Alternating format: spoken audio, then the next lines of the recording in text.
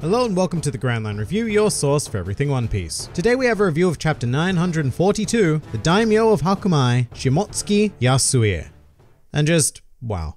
So this chapter presented me with an awful lot of emotion that I just plain wasn't ready for, which is odd because this is exactly the sort of thing I was expecting to go into after the last chapter, but with the break in between, I just kind of forgotten the exact severity of the situation and yeah, what an experience this was as a result. Yasu's final speech and thoughts had me quite genuinely tearing up. I mean, Oda just has such a fantastic way of pulling at those heartstrings as much as possible when depicting a death in the series. And I think a lot of it for me has to do with the brilliant artwork, showing Yasu all broken and beaten, but still smiling brightly through through everything. He doesn't seem scared, just a bit regretful that he wasn't able to do more, which is utter madness because Yasu's sacrifice has more or less entirely saved the rebellion building up on Wano. I think that we are certainly going to look back on Wano and go, whoa, without this guy, everything would have gone just entirely wrong. And not in the chaotic great straw hat kind of wrong way, I mean the proper kind of wrong. But I think it would also be a mistake to think that Yasu has merely given the rebellion its platform back. I feel like he has done so much more than that. Because we have that little scene of the prison guards discussing how much they despise Orochi's cowardice, and that is surely a hint for an even greater uprising even amongst Orochi's supposed supporters. Especially since the whole thing was televised as well. I mean, imagine watching your benevolent ruler becoming frustrated like a child and firing relentlessly into an individual who holds seemingly no power whatsoever to wield against him. It's just not the reaction of a true leader who believes in themselves, rather it's the calling card of a highly insecure person, entirely unworthy of the status bestowed upon them.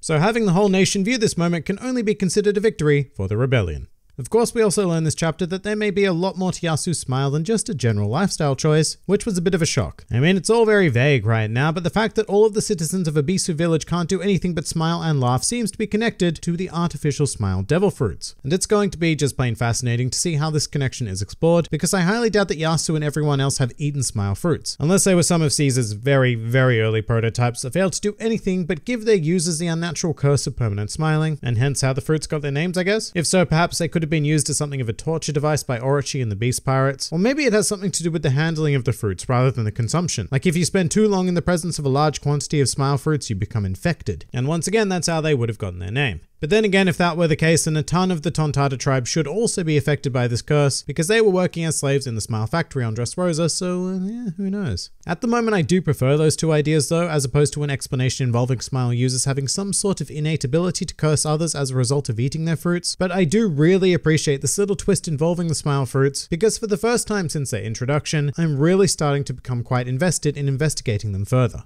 There were a couple of other things that took my interest this chapter as well, and this next one may or may not have been pointed out at some stage before during this arc, but there is a segment of the Yasu flashback where there is a character wearing a garment with the same cross swords emblem as depicted on Zoro's old master Koshiro, and with that you'd think that his association to Wano is now pretty damn solidified. In fact, this emblem is not even the only connection made to Koshiro during this chapter, with the other one being in Yasu's full name, Shimotsuki Yasuie. And where does Koshiro's dojo just happen to be? In Shimotsuki village, in East Blue. But to be perfectly honest, I'm not not sure how huge the significance of the Shimotsuki name is, but it feels like an awfully big coincidence for this Swordsmaster character who already has many hints of being connected to Wano to be very coincidentally tied to Yasu's name as well. So, you know, cue the theories about how Koshiro may be one of the other three daimyo, or famed samurai from the pre-Kaido times who was forced to flee and ended up in East Blue. The only thing that really gives me pause for thought is Koshiro's entry in the One Piece Vivre card data book, which states that he was not originally from Shimotsuki village, but he was from somewhere else in East Blue. Which is confusing because unless he was the son of a citizen of Wano who left the country even before Kaido arrived and was raised in East Blue, which I suppose is possible, then I'm not really sure how he lines up with anything. I mean, surely Oden isn't the only samurai who ever dreamt of leaving the country to explore the world, so someone from the generation before Oden doing the same thing shouldn't be too out of the question.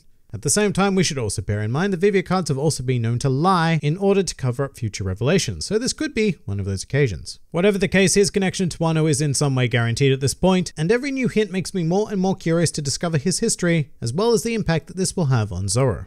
And another thing that this chapter has made me very eager to see is more of Oden. While still silhouetted, there was a decent amount of his character on display in the flashback this week, portraying him very much as a fun-loving goofball, very much in the style of Luffy or what we've seen of Roger so far. I really enjoyed his line about an isolationist country being too cramped for him, and his more delinquent nature in general. So it's going to be really interesting to finally see the story of how Oden grew into a man worthy of taking charge of the Kozuki clan. But that essentially wraps up this week. A very powerful chapter with a strong focus on a surprisingly strong character. One that I'm very much going to miss going forward into the story. However, with his departure, I feel like the stage is set more so than ever for the upcoming madness on Wano. And yet I still feel like there's so much left to explore in regards to these island specific characters, past and present, before we even get into that full swing of the rebellion. And that's why having another break next week becomes slightly more painful than usual to bear, because this chapter just got me excited about so many things. But by the time another chapter comes around in two weeks, that will have died down and I'll need to rebuild momentum again. But you know, what can you do? That's manga.